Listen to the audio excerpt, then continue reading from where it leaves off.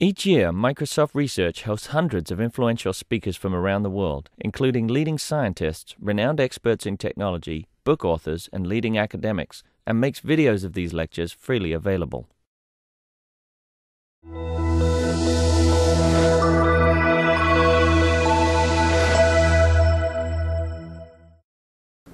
Uh, good afternoon, everyone, and welcome to the MSR Talk Series. Today I'm very fortunate to present uh, Philip Wadler, um, who comes from us from uh, Edinburgh. It turns out that we have actually uh, met uh, 20 years ago at uh, some summer school in Marktoberdorf. And, uh, and Phil was so fortunate to then change the world of functional programming since then and I'm still trying to change the world in Microsoft. Not so successful, but a little bit. Um, there are more people at Microsoft than people doing functional programming. Yeah, and now we have actually uh, uh, our own functional programming language thanks to Don Syme, so we are getting there uh, slowly, and it's always good that the academy, academia is a little bit ahead of us. So I don't have to introduce uh, Phil a lot. I think uh, most of you know him. Uh, he's the past holder of the Royal Society Wolfson Research Merit Fellowship and uh, uh, serves as chair of ACM SIGPLAN. So everybody who has something to do with programming language knows probably Philip. And therefore, I don't want to waste this time, but to give you the space to explore and tell us what you have done uh, lately. Namely, give us all some blame. Okay, thanks a lot uh, for joining us, uh, Phil. Okay. Um, thank you, Wolfram. Thank you all for coming. Um, I'd like to thank uh, Microsoft for inviting me here. I was here because I was invited to give a talk at um, DBPL, which is attached to VLDB.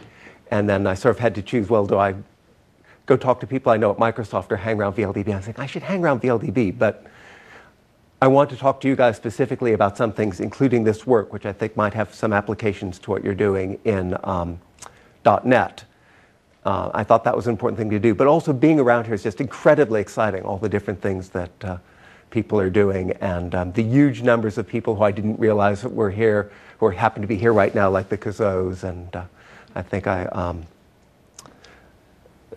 I saw other people around the corridor. I went, what are you doing here? so it's a very exciting place to be. I'm very glad to be here.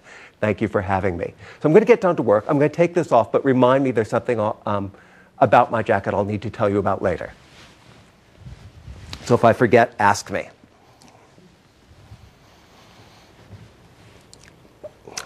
Okay, so um, that's not so good. There we go. Um, this is a um, talk that I first gave at um, POPL, which was in Texas. So just imagine you're in Texas for a moment. Um, now, people in the world often divide into different groups that tend to oppose each other. I live in Scotland. There's a place near us called England. These people don't always get on. Um, maybe people at Microsoft and people at Google don't always get on. There are different fractions in the world that don't always get on. I want to talk about one of those okay, and how to bring them together and maybe have more peace in the world. So I want to talk about dynamic programming languages and static programming languages. Okay, but you all, you know, and you all know about this sort of thing where one group feels oppressed, that there's this other group that's doing things that they don't like, and there's some kind of conflict. Here's one example. right, so I'm going to use here blue for static typing, red for dynamic typing, right? And you can imagine those dynamic typing people going, What are all those namby pamby, literal, liberal, static typing people trying to bind me in for? Why is it that dynamic typing people always like uh, seem to become president. what is it about that? Um, I'm, I'm, not going to get into statically versus dynamically typed politics. uh, conflict, let's bring some peace if we can. How can we get these two sides talking together? So, um, to begin with, I'm going to talk about some work that was done previously by myself and Robby Findler called um, Well-typed programs can't be blamed. So I'm going to review that quickly and then go on to the new twist that was part of this particular POPL paper. But the question is, how can we make dynamically and statically typed languages live nicely together? So the color coding I'm going to use is um, red is these dangerous redneck dynamic people, and blue are these namby-pamby literal, liberal statically typed people. So here's a simple untyped program. I'm going to use stars as a superscript to remind myself when things are um, untyped. So um, let the increment function be lambda x, x plus 1. Let the apply function be lambda f, lambda x, f applied to x. Uh, and then apply it, um, take the apply function and apply to inc and 41, and you get 42. Okay, that should be fairly straightforward. Please nod if you are suitably bored by this program. Okay. Everybody understands the lambda notation? I don't need to explain that. Do ask a not everybody's nodding. You have to actually nod, or else I'm going to pick on you and say, okay. Uh, sorry? well, Patrick's not nodding, so maybe he doesn't know what a lambda expression is. I was wondering, but is a star. You'll, you'll find out. Um, here's the same thing done in um, namby-pamby liberal blue. So increment is lambda x of type int, x plus 1. And apply, um, we're now going to do this polymorphically typed in the polymorphic lambda calculus. So these um, capital lambdas are binding type variables. So we'll take as an argument the type variable x, we'll take as an argument the type variable y, we'll take it as an argument f, which is a function from x to y, we'll take as an argument little x, whose type is big X, and then we'll apply little f to little x. So very wordy, but hopefully you're still bored. And then we um, take the app function, apply to the both x and y. In this case, are going to be the type int. And we have increment and 41, and we get 42 of type int. Okay. So, can we bring these people together? So, um, why do I have app twice? Ah, I see. Um, so I've got my increment function that's untyped, and I have my apply function, which is typed. And we need to bring these two worlds together.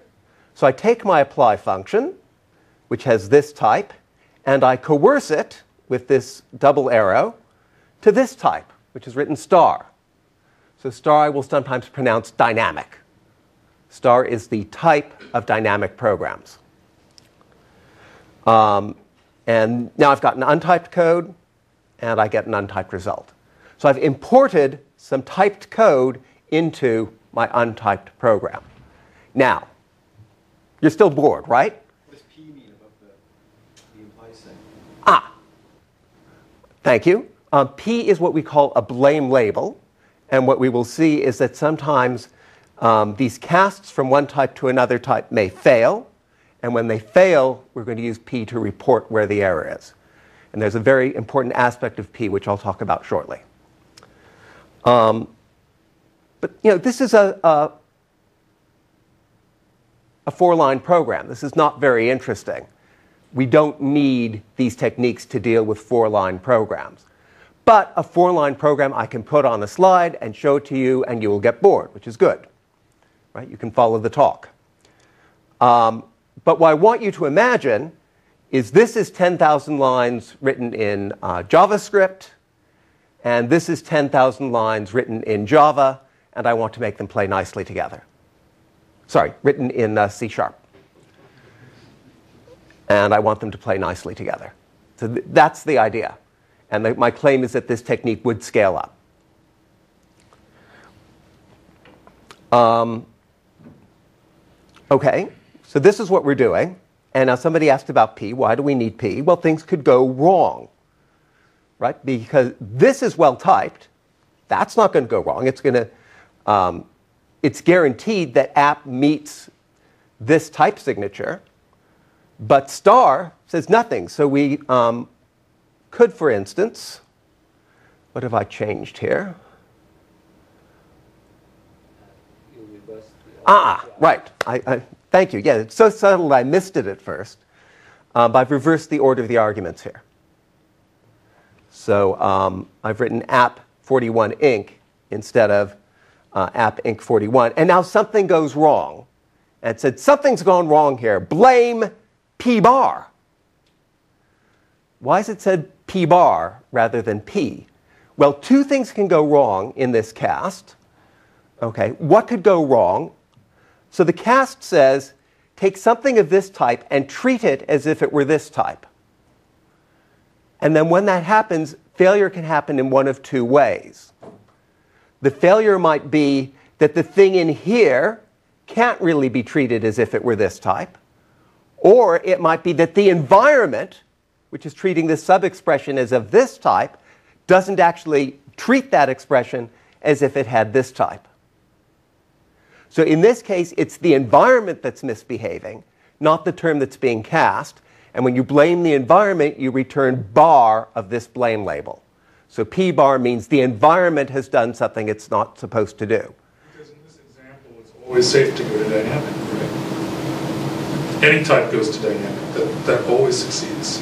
Well, it, what do you mean by succeed? It's fa- the program as a whole has failed.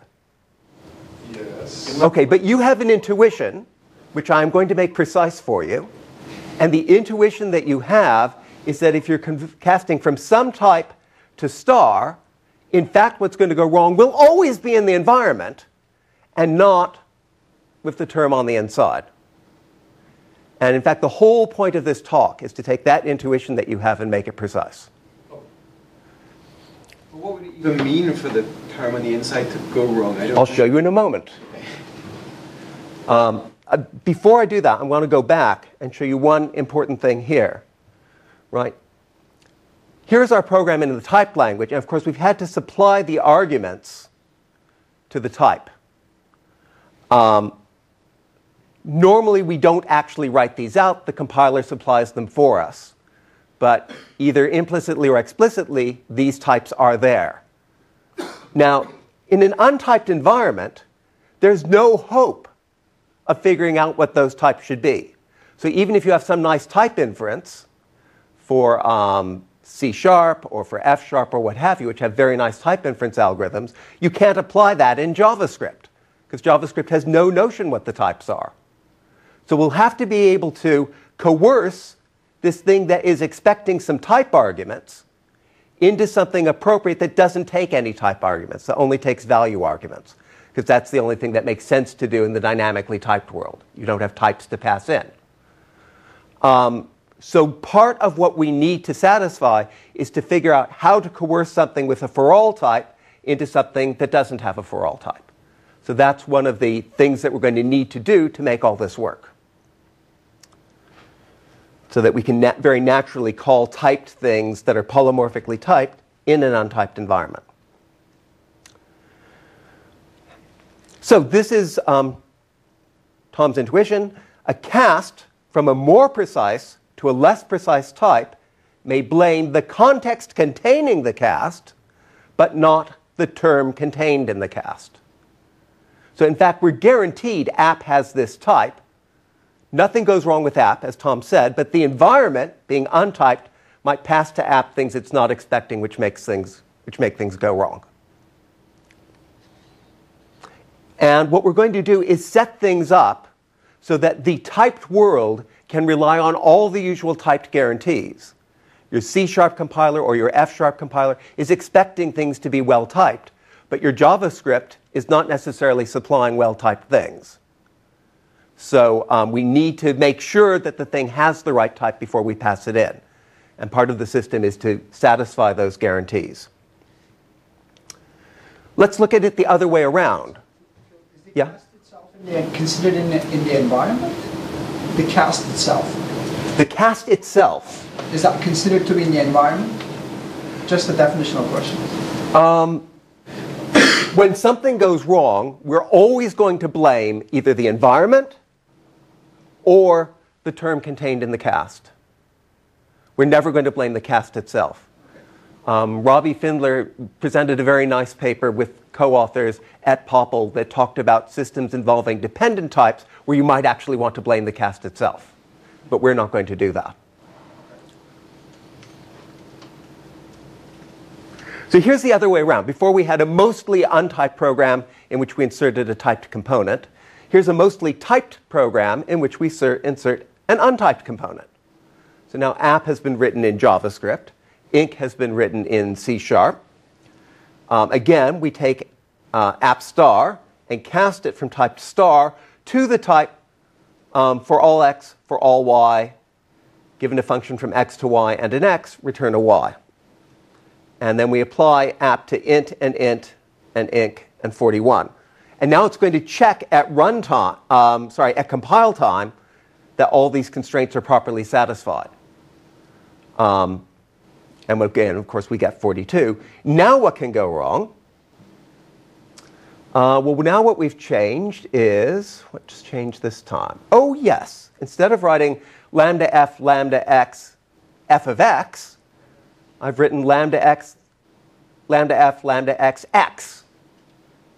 So if you think about it, the type of this thing is for all x for all y, x goes to y, goes to x, goes to x, because it's returning an x, not a y.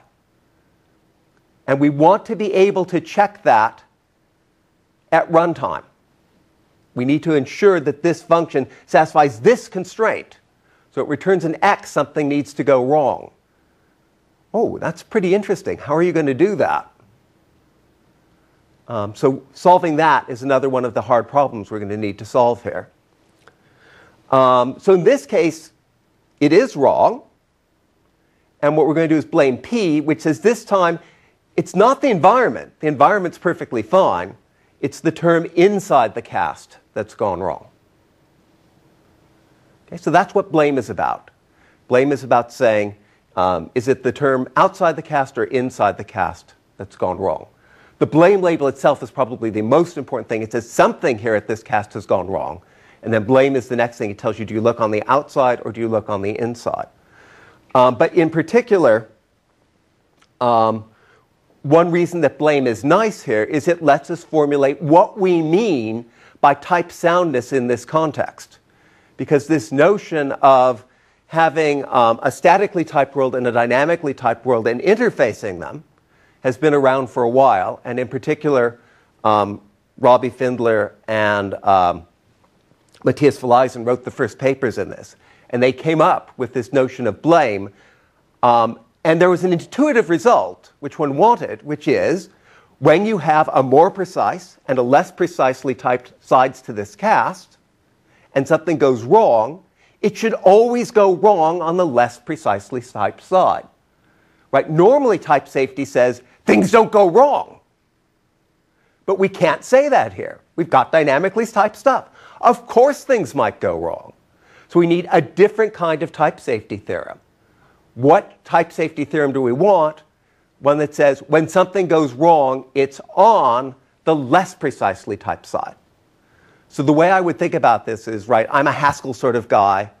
Um, Robby, at the time we ta- started this, was a scheme sort of guy. The scheme people have renamed themselves, so now he's a racket sort of guy.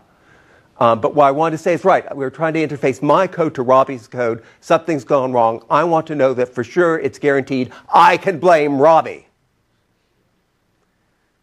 Okay, so that's what the blame theorem is about, blaming Robby. Um, I think I saw a hand go up. Was there a question? Yes. So, I mean, the way you define which side to blame actually assumes that you can actually type the untyped calculus because you're saying blame always goes to the less precise. But what's interesting about down-type calculus is that you don't have those. Ah, actually, um, I'm not sure if they're in this talk, but uh, no, I'm going to show you the type rules for this language. And the, un- the untyped calculus does have a type. So it's an early paper by Robby.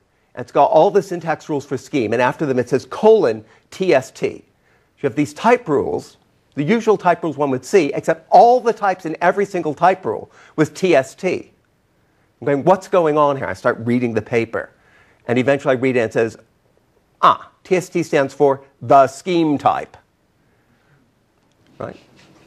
Scheme is a perfectly well typed language, but everything has the same type. Um, Bob Harper has a nice um, aphorism for summarizing this. Untyped means unityped. So that's what star is. It's the type of everything in the untyped world. I can't recall um, if it's in these notes. Uh, no, it's not. Um, but in fact, there's a very, so I've written all my untyped things with these brackets around them. There is a very easy way to coerce these um, untyped things into this language. In fact, let me just show you what it is.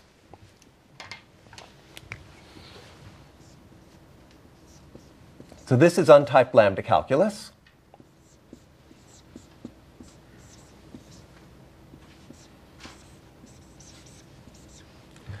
And the typing rules is x has type star. If n has type star, lambda xn has type star.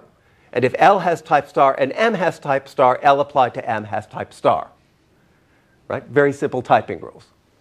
But we can convert them, these into terms in our um, language with cast of type star. So here's the conversion. X converts to X. Lambda xn converts to lambda x of type star n.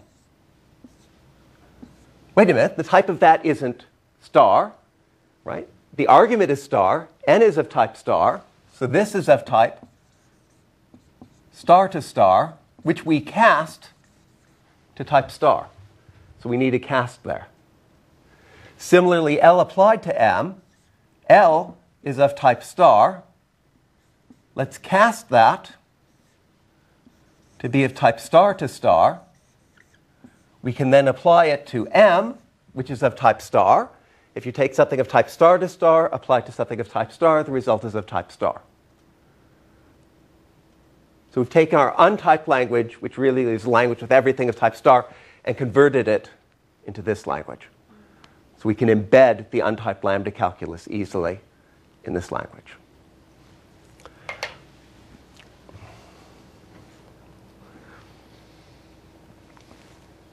Okay. So that's what we've done before. How do we extend things to deal with polymorphism? So um, first, let me go. What am I doing here? Ah, right. Um, do I explain this? No.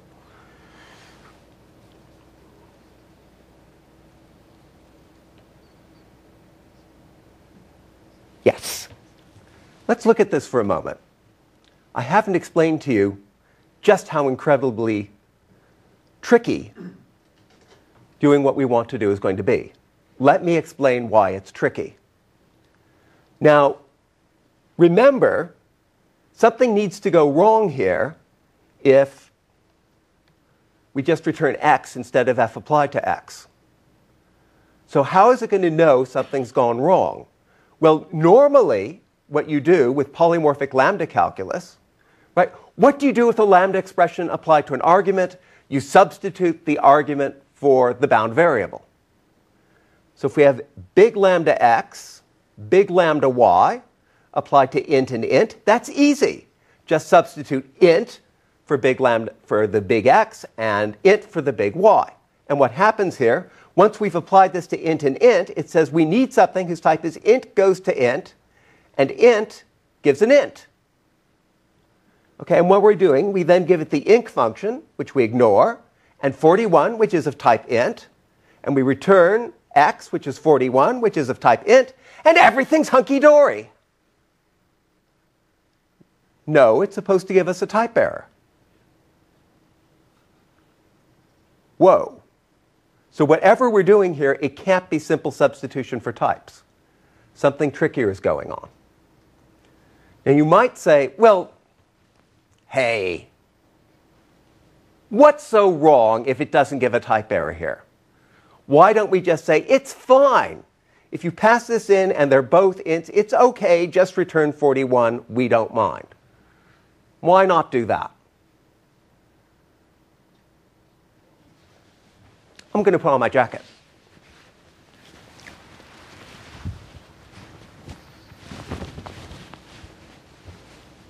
Now you'll notice on my jacket, I have this lovely lambda pin. This was given to me by one of my students who actually made it out of silver. So it's one of my proudest possessions. Lambda calculus is cool. Let me tell you one of the cool things about lambda calculus. It's called semantic parametricity. The polymorphic lambda calculus, you may know, was discovered by two different individuals John Reynolds and Jean Yves Girard, almost at the same time, within about a year of each other. Jean Yves Girard, a logician, discovered it slightly earlier. John Reynolds independently discovered it later. They each proved really cool theorems about the polymorphic lambda calculus. Jean Yves Girard proved a representation theorem um, which I won't go into in detail right now. Um, John Reynolds um, proved a property that we now call semantic parametricity. And what this says, roughly speaking, is um, a term in polymorphic lambda calculus always takes related arguments into related results.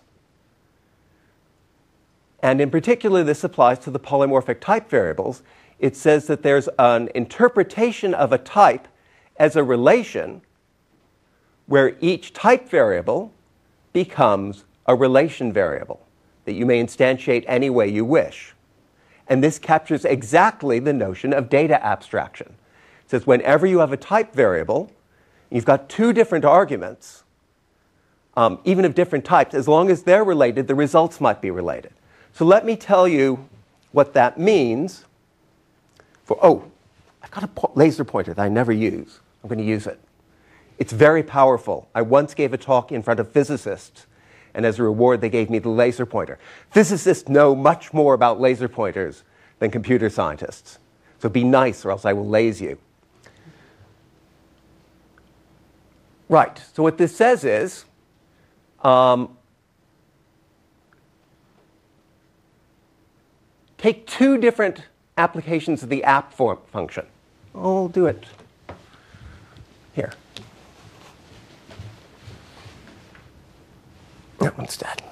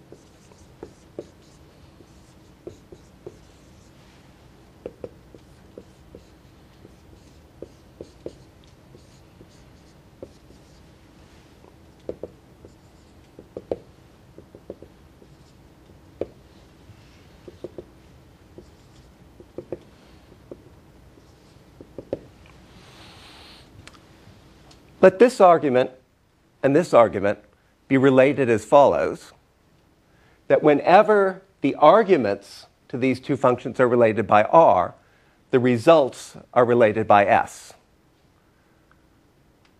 Okay? So we have for every x related by r to x prime, that that implies that f of x is related by s to f prime of x prime. So this relates f to f prime. And say, here I've got an argument y and an argument y prime that are related by r. From the type alone, I can conclude that app f y is related to app f prime y prime by s every function, every function, not just app, any function at all of this type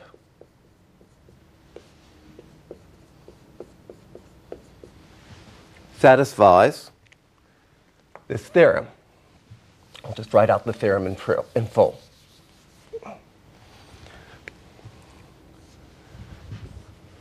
For all f and f prime, satisfying that. Uh, so I'll just write this in full too. Right. For all x and x prime, such that that holds. And then for all y and y prime, such that y relates by s to y prime. So if this is true, and this is true, then we have that app fy relates, oops, these relate by r, by s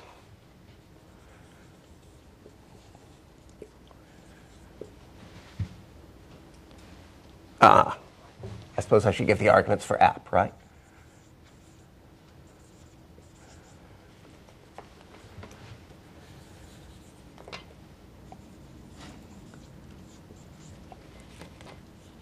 Course, f and y and f prime and y prime have to have the appropriate types. So this is always true just from the type alone and nothing else. This is really powerful. Okay, it's a very useful thing. Um, it says, for instance, um, from the type of the sort function, you can know certain things about the output. Um, from the, this particular type, it's very strong. It tells us the only thing the app function can be is the thing that takes a function here and an argument here and applies the function to the argument to give this result. There's actually one other possibility. It might not terminate. And that's it. Those are the only two possibilities. It's either the constant non terminating function or the identity. That's it. Very powerful result. We want to maintain, so that's called semantic parametricity. I can now take off my jacket because I've shown you a nice bit about lambda calculus. Ah, that's cooler. But that result was cool, right? That's John Reynolds' result. Very nice. Theorems for free. Right? Just from the type of a polymorphic function, you can know a very powerful theorem that it satisfies. So we would like to maintain semantic parametricity. That's why we want to make sure that this gives us a type error. Because we want to be sure that if we take an untyped thing and cast it to a polymorphic type, the result of the cast behaves polymorphically and satisfies semantic parametricity. That's what we're trying to achieve here. So to do that, we're going to need to modify polymorphic lambda calculus a bit. Because I just told you well, what you normally do is you just substitute int for each of the type variables. We can't do that. We have to know that x and y are distinct types in order to get the appropriate um, checking for semantic parametricity. So what we're going to do instead is introduce this new constructor pronounced new. Um, so we say new x gets A in T has type B. And the typing rule for this is that we're going to type check B on the assumption that X is replaced by A. Okay, so in the type checking, we do the substitution, but we're going to keep X around as a separate type distinct from A. Um, and now right, the normal um, reduction rule for polymorphically typed lambda calculus says big lambda x, um, some term uh, applied to a type. What you would do is you would just replace x by a within this term. But we're not going to do that. So we're going to introduce this new construct at the front.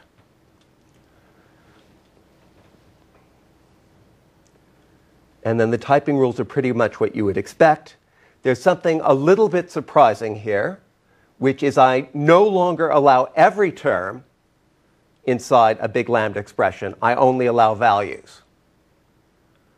But that's not really so surprising because in languages with side effects like ML, you need to make that restriction in order to get type soundness. So we should expect that restriction. Because we do have side effects here, we might raise some blame. So that's why we restrict to values. Um, and I reference here a paper by a very nice paper by Neis, Dreyer, and Rossberg, where they do something quite similar. The interesting thing is in their paper, they have a um, global list of bindings of type variables to types, whereas we're doing it locally with this construct. It turns out that we tried to do it lo- globally, it didn't work out very neatly. So deciding to do it locally was a big advantage.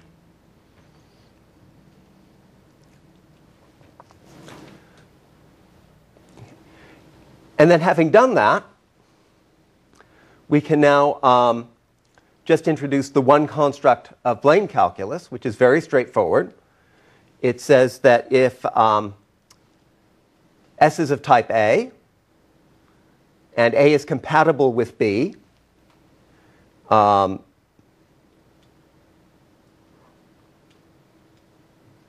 I'll show you the, I think I show the definition of compatibility later. Don't worry about that for now. Um, then we can cast S from type A to type B, and the result, of course, has type B. So that's a, a fairly straightforward rule. So um, we often, I will usually say cast, but you can also say contract. And what we're promising here, uh, the contained term, is will provide an A. The type checker guarantees that. But we're saying you'd better also you better provide an A that can be treated as if it were a B. Similarly, the containing context must treat this term as if it were a B. The type system guarantees that. But the contract is saying you better treat that B as if it were an A. Okay, so the instinct side thing is guaranteed to be an A, um, but the outside thing is only guaranteed to treat it as a B. It had better treat it as an A. And if it doesn't, we're going to blame the outside. Similarly, um, this A, this is guaranteed to be an A, but better be treatable as a B. And if it's not, we're going to blame the inside. Right, so here's the definition of compatibility. Um, and um, it's not too surprising. Star is compatible with everything else. That's what we'd hope. Um, if A prime is compatible with A and B is compatible with B prime, then A to B is compatible with A prime to B prime. That makes sense. Notice the swapping around. That's called contravariant. You get it whenever functions appear. Um, people have seen contravariant function rules before? Most of you will have done, I expect. Yes? Um, and then the other rule says um, if A is compatible with B, and x doesn't appear free in A, then A is compatible with for all xb.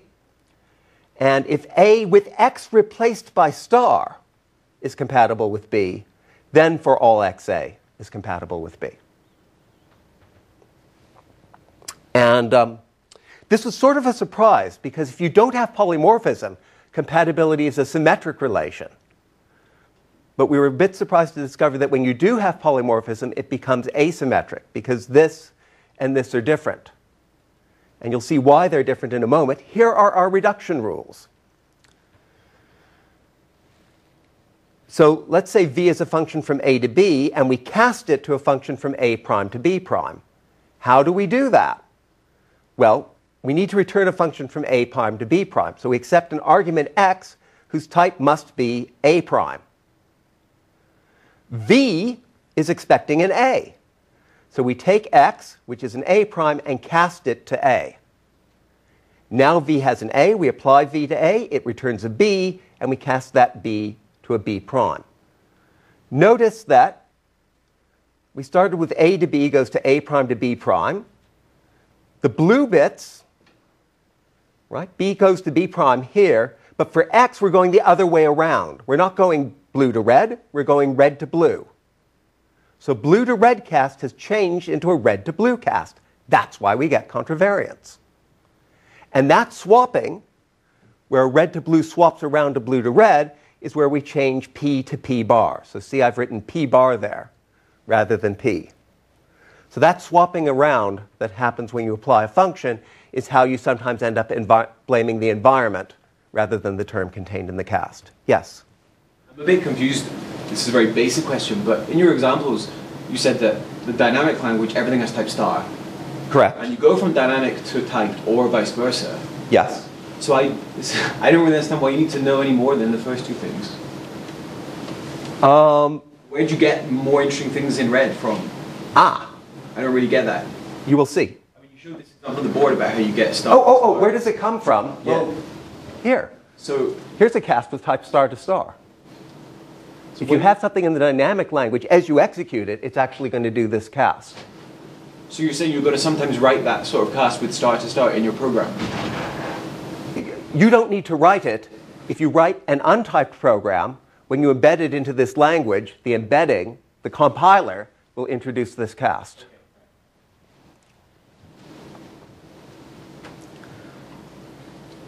But there are also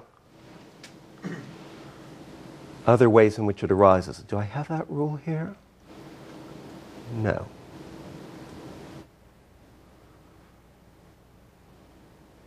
This is not all the typing rules. There are other rules that introduce that uh, as well. For instance, um,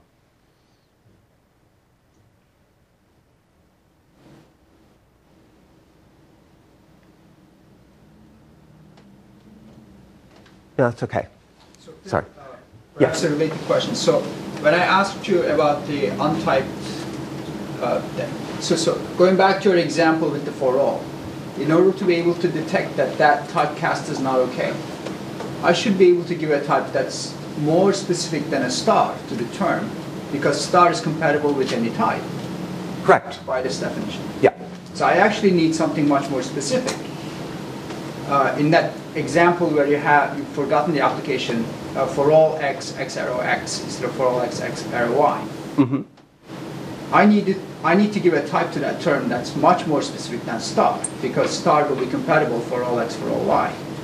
Oh, you mean, why is this going to go wrong? Exactly. I'll So- show you that. I'll, I'll show you how that goes wrong. Um, right, th- this shows you what happens, in fact. Um, if we cast any type to the type for all xb, what we'll do is move that big lambda x to the front. So now we've got something whose type is for all x b, because the type of this is b. Um, and we v had type A, so we now cast v from type A to B instead. But notice we've got this lambda x here. When we apply, that x is going to stick around because eventually that lambda x dot term is going to be applied, and when we apply it, we're going to do new x gets a, but x still appears within v. So A and B are here type schemes or just base types? A is any type you want, including a polymorphic type, including polymorphic including a type with free variables. So why can't I just fire the first rule then? Um, well, let me go, go on. Um, we might, I, I don't have the example in detail. Maybe we'll just go through the example in detail to see what happens. Um, if you've got something of polymorphic type that you're casting to type B, so V has type for all XA, it's expecting a type argument. What type argument should we give it? Int? bool, int to int. Right? You can see it here. Let's give it star. Well, wait a minute. Does that work? I'll say more about whether that works in a minute. So v applied to star, of course, has type A um, with x replaced by star, and then we cast that to b. Now you can see why these rules all look the way they do. Right? If this cast um, is permitted, then that means uh, if, a, if this type is compatible with this type, the only way that can happen is if this type is compatible with this type and this type is compatible with this type. So it guarantees that as you reduce, you maintain compatibility. And that similarly, these rules guarantee that this, if this is compatible, this is compatible. And if this is compatible, this is compatible. So that's why you get the type substitution appearing here. It comes in order that this rule maintains compatibility. And that's why symmetry gets broken. Then finally, we have rules. Um, there's some other rules, but here's the important ones. Eventually, you'll end up casting from type X to type star and then back to something again. Okay? If we cast from X to star to X, that's fine. But if we cast from X to star to Y, where Y is different from X, then we blame somebody. Only if X Only if X and Y, any two type variables X and Y that are not identical are incompatible. In particular, even if X and Y are both bound to int, they're still incompatible. That's how we get that to work. Would people like me to take the time to go through applying these rules to the um, particular example involving, um, to that example, to see why we get blame P? Should I do things in that detail? Okay. Here we go.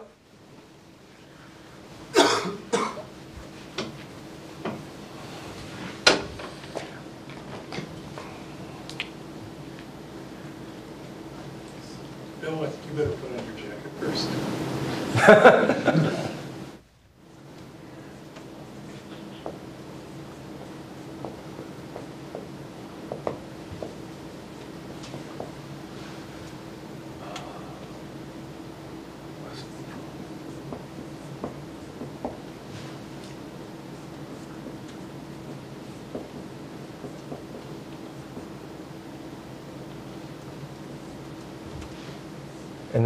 apply this to int, int, inc, and 42. Okay? No, 41. Have to get that right.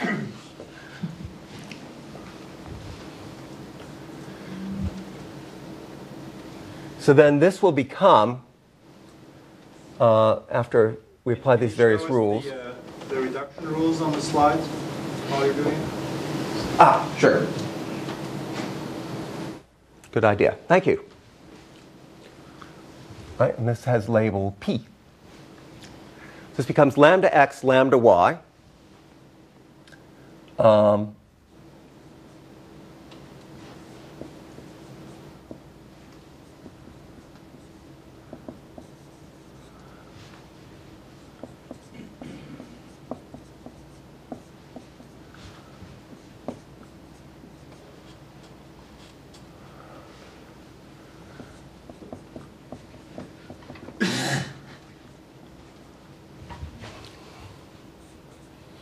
Okay, so now we've got lambda x applied to i, so that becomes new x is i. And then we've got lambda y i, and that becomes new y is i.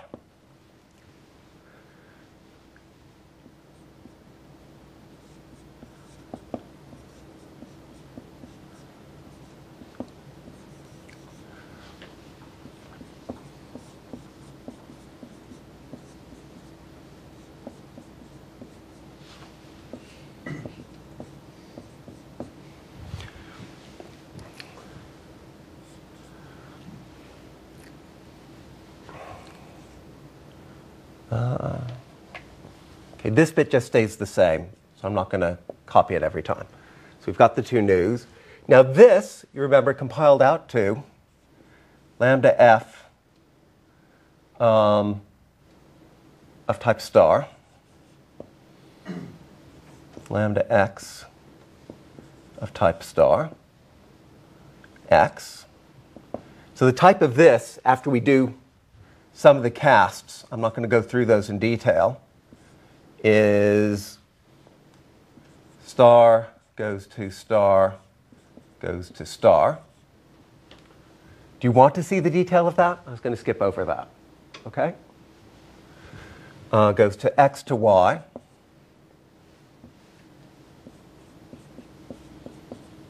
X to y. And then the whole thing applied to inc and 41. So it, it's in this step that you actually get some types that are more complicated than star.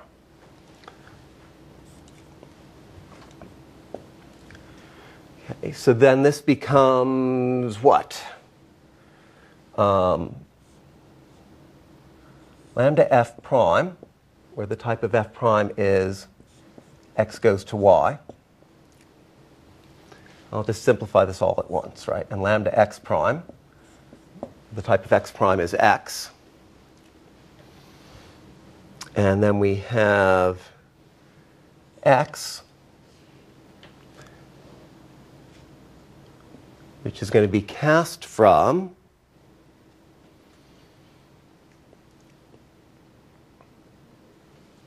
Oh, sorry, and then we've got all the arguments in there. Okay, I'm going to do several steps here at once because it'll make life easy. Um, inc is of type x to y, which gets ca- cast to star. 41 is of type x, which gets cast to star. We substitute those in and then cast the result from star back to this. So that, that simplifies to 41 is of type, sorry, 41 is of type x, which gets cast, and there'll be a swap in here. This is p bar, gets cast to star, and then gets cast to the result type, which is y. So after several steps, this reduces to this. 41 has type X, because that's the type it's given. We cast it into this world, so it has type star. Then we, we take this X, which has type star, and cast it back to type Y. Now, turns out this cast is labeled with P bar, this is labeled with P. Okay, X is different from Y, so this is where things fail. Things have gotten labeled with X's and Y's. If we substituted, this would be int, this would be int, and everything would be hunky dory. This is why it's important that we don't substitute. Okay, I can see by your rules how that fails, but now I can see how the other one that was correct worked. Because you still have an int and an int, and Ah. at the end they're going to be different. The other one, it was f applied to x. And that, since f has type x to y, f applied to x has type y. And then we cast y to y, and that works okay. Okay. Good question. Thank you. Right, and you can see by this rule that we're going to end up um, blaming Q as it happens. So we end up here blaming P, the um, outside rule. I think I might have gotten a P and a P bar and a Q mixed up, but I'll skip over that. Okay, so that's basically how it works. Yes? So when are you allowed to use the uh, environment assumptions that x is equal to a? I mean, and I mean, my worry would be that you somehow are able to read that information in. Oh, where does this get used? Yeah, yeah, yeah, exactly. But it gets used, for instance, um, in checking that 41 has type X. How do we know 41 has type X? Because X, in fact, is integer. I see. So whenever you have a compatibility check between a non-type variable and a type variable, that's when you're allowed to use. There are specific rules about that, which are in the paper, and which I'll show you a little bit about. But um, basically, I'm going to refer you to the paper for all the details of how that works, if that's all right. Now, you remember I said that we decided to instantiate V with star. I said, well, how do we know that's any good? Well, we know that's good because of the bit with the cute name, the jack of all trades principle.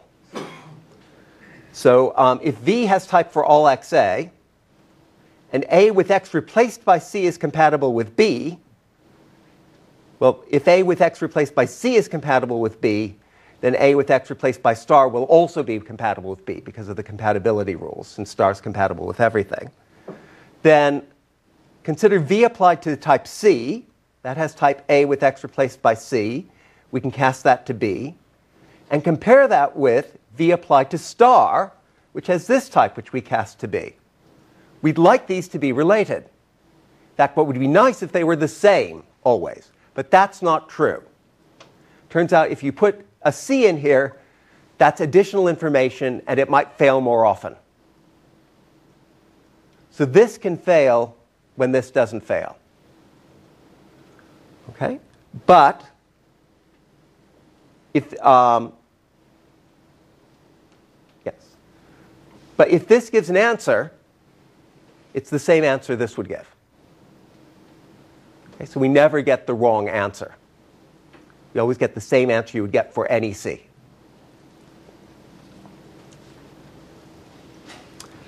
Okay, um, we're at 4.30, so I'm not going to say very much about the dauntingly complicated but rewarding bit. But we actually have not one, not two, not three, not four, but five different relationships here. Now, one of these you've seen before, which is compatibility. What are all these other things? We have four different flavors of subtyping. Um, traditional subtyping uses this contravariant rule.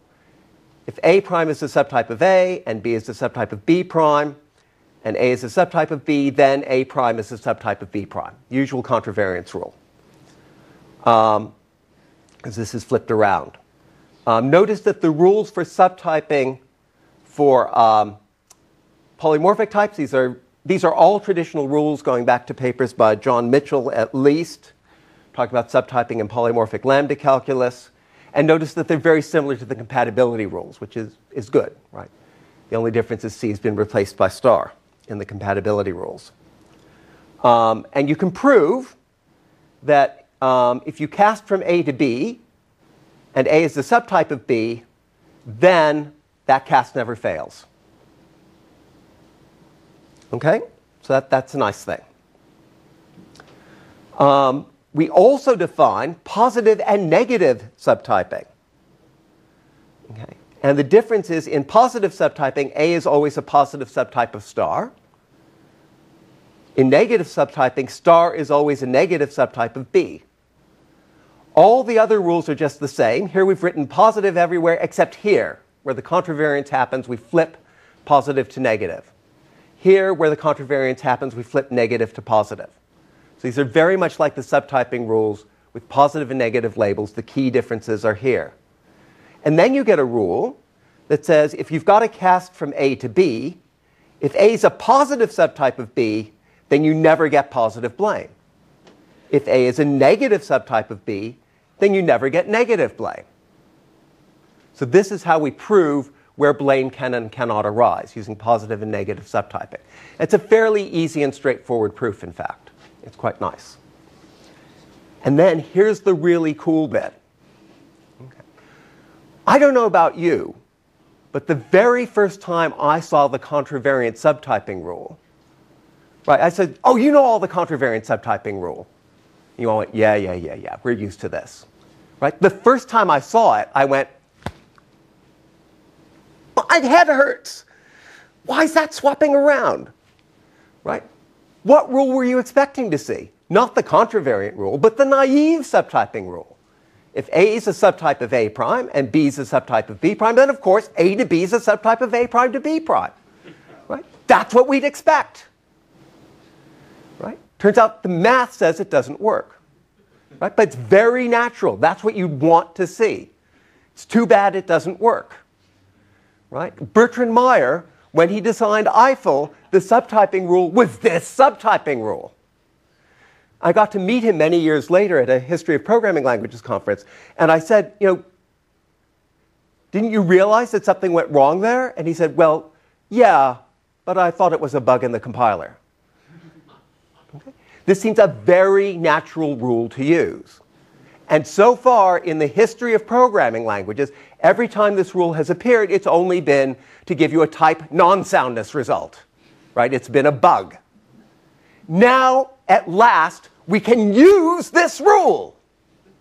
The reason we can use the rule is we have the following theorem that A is a naive subtype of B if and only if a is a positive subtype of B, and B is a negative subtype of A.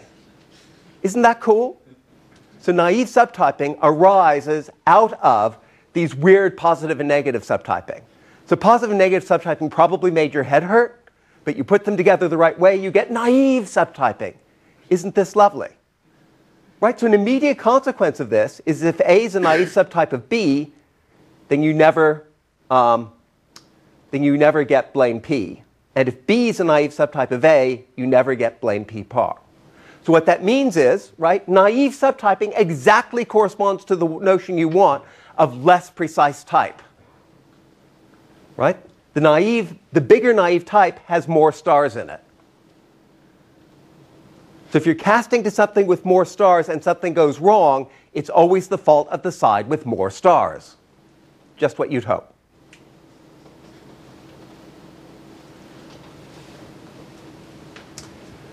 The surprise ending is not that. Um, I'm not going to go through this in any detail, but turned out that in doing the proof, the surprise for us was we needed to change around the notion of exactly how you manipulate things in polymorphic um, lambda calculus. And we introduced these things we call static casts, which look just like the casts I've shown you, but they're corresponding to dealing with certain type variables, right? They're dealing with this substitution, replacing x by a within the type. So we have a cast that's just part of the manipulation to get the type checking right that says um, cast b by replacing x by a. And then because when you do applications, things flop around, you need to cast the other way as well. And we have various reduction rules for these things. And the only thing um, so the surprise was that there is a variant of polymorphic lambda calculus that we needed, and it used casts remarkably like the casts that we already wanted for casting between dynamic types and other types. This is a different casting system, but it looks very similar. And the nice result you get is you then have a canonical form result for the polymorphic lambda calculus. So normally you get a polymorphic um, result that says, well, something's either a base type or a function type or a polymorphic type, and that's it. But now, right, and the, the type variables have vanished because you substitute them out. But in our case, we're not substituting them out. And so you get one more type, which is the polymorphic type, a type variable, and that always has the form of one of these static casts to a, a polymorphic type variable. So you retain enough information that you can actually tell at runtime when something has polymorphic type, which is what we need in order to um, get semantic parametricity. It turns out that a type system very similar to this had been done 10 years ago by Dan Grossman, Greg Morrisett, and Steve Zdancewic. And we were just amazed to discover this. And then we looked and we saw that both Dan Grossman and Steve Zdancewic were um, on the program committee for POPL, and we thought we're in.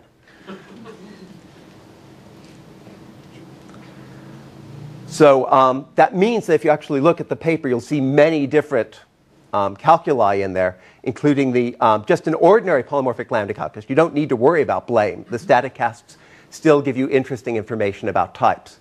And then we have similar versions of everything um, with blame.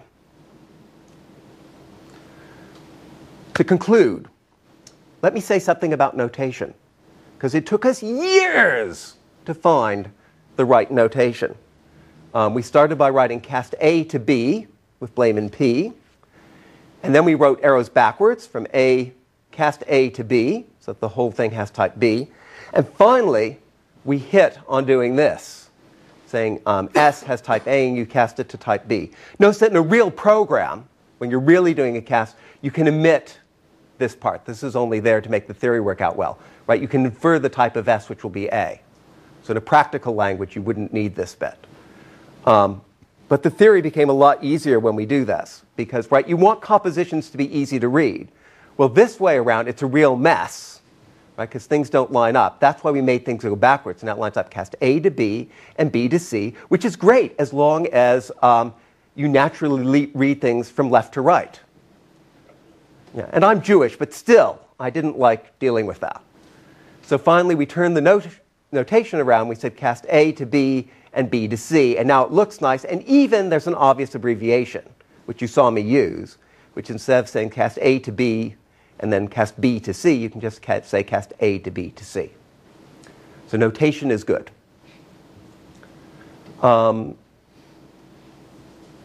and getting it right can take many years. So that's where we are now. Um, you all know about things in .NET like C Sharp, which now has this dynamic type. And um, one reason I'm here is because I want to talk to some of you about this, because I think that these ideas could fit very well with what's already in C Sharp and the .NET platform for dealing with dynamic types. And now you can um, have these casts uh, inserted so that very automatically you can say, right, that thing of type dynamic, look, I want you to check for me that really has the type for all x, for all y, x to y to x to y, and give me an error if it doesn't. Now you can get very guarantee very precise properties of your programs um, at runtime, which would be very handy. Okay, thank you very much for your attention. I've gone a bit over time, for which I apologize, but thanks very much.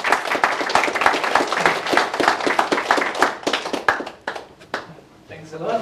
Um, um, Phil is here uh, until tomorrow afternoon. I think uh, we took already lots of questions during the talk, so maybe we'll wrap up now. Um, yes, uh, a little time now. If you have more questions, maybe you come to the podium, and otherwise, uh, contact me to see whether you can meet tomorrow afternoon. Yeah, the more people I can talk to, the better. Thanks again very much.